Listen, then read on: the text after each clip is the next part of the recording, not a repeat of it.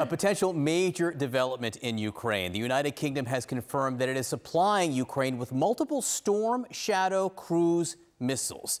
This equipment gives Ukrainian forces a new longer range strike capability in advance of an expected counteroffensive against Russian forces.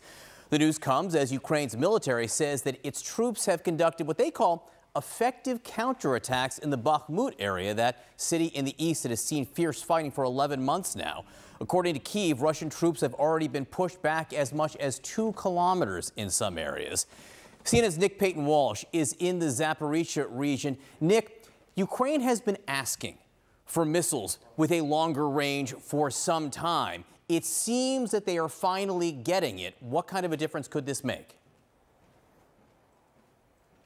Yeah, it does appear they already have them. They've been asking the US to supply the ATACMS with its 185 mile range, but these UK Storm Shadows uh, have 155 mile range, which essentially brings much of the Crimean Peninsula occupied by Russia, possibly even some part of Russia's border areas, although it's clear as part of this donation they will not be striking inside Russian territory proper uh, before the 2014 re establishing of borders by Russia's occupation. It does potentially allow Ukraine to be more targeting of key Russian military infrastructure in those occupied areas. And I wonder if this announcement is perhaps coming out to be clear that it's a UK donation allowing them to have this greater effective range so there's no confusion as to whether the US had, for example, secretly supplied some extra capability. It does potentially change the precision and depth that Ukraine can exercise into occupied areas, but also, too, it's important to point out we've seen sabotage, we've seen drones attacking some of these areas, it seems, over the past weeks, too. So a clear sign, I think, think of the United Kingdom often wanting to be the first to supply tanks or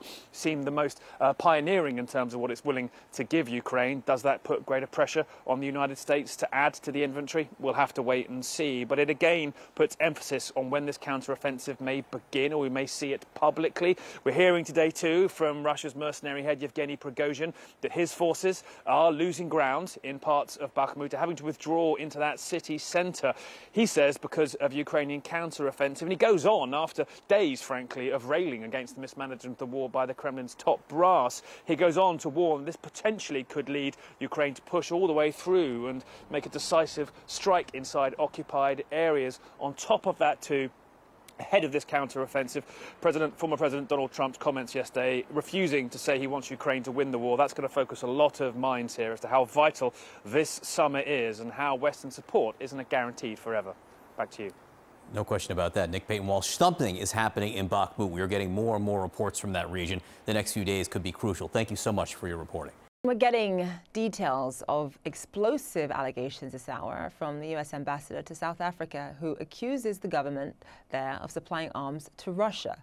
Ambassador Reuben Brigety told local news media that arms and ammunition were loaded onto a sanctioned Russian cargo vessel late last year. CNN's Dave McKenzie joins us live now from Johannesburg. So, you know, we've seen South Africa participating, David, in joint military exercises with Russia. Obviously, they have refused to condemn the war, uh, at least against the Russians. And they've also wavered about how to potentially handle Putin maybe visiting South Africa during the BRICS summit later on this year. That has caused the Americans so much unease. This idea that South Africa could indeed be sending ammunition to Russia clearly is a huge problem for the West.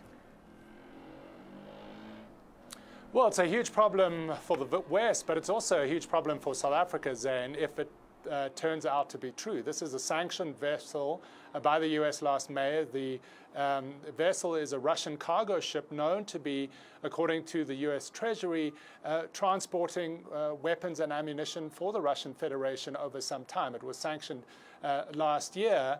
And then you had this mysterious situation when the Lady R, as it's known, docked in the main naval port of South Africa, in a military uh, naval port uh, near Cape Town, uh, for several days.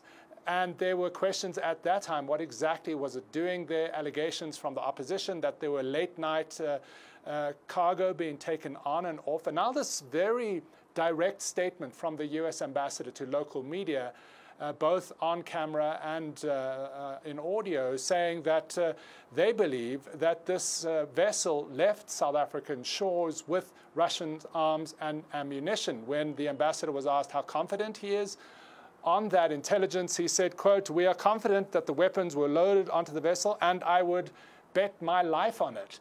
These are very direct comments from the most senior diplomat uh, of the US here in South Africa and continues uh, these allegations against South Africa that it's not neutral, but rather siding with Russia.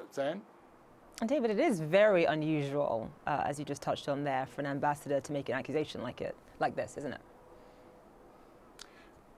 Yes, it is. And I, I think this would be a very calculated move. It's also uh, telling that the international media, like CNN and others, were not invited to the briefing. This is a message meant for South Africa, for the South African press. Of course, uh, due to the potential gravity of these accusations, it would become global news. Uh, but this was a message directed at South Africa, at the president, by the US ambassador. You have seen a more assertive line coming from US diplomats about South Africa's stance on the Russian invasion of Ukraine in recent months. But this is certainly the most direct accusation that South Africa is potentially arming the state that invaded Ukraine. Uh, we expect a statement shortly from the South African presidency on this matter. I'm sure that will be forceful, uh, but they have repeatedly said here in the country that they are neutral on this issue, uh, though they did host war games with the Chinese and the Russians earlier this year, and could be even hosting Vladimir Putin later, later this year at the BRICS summit. Uh, so I'm sure there will be significant fallout out, out after these comments from the US ambassador. Uh, and if it, uh, more evidence does emerge that weapons will be sent from South Africa to Russia, then it becomes also an issue uh, of sanctions busting potentially. Uh, though South Africa maintains it wants to maintain good relations with all sides. Zain? Yeah, that may be difficult to do. David McKenzie, live for us there. Thank you so much.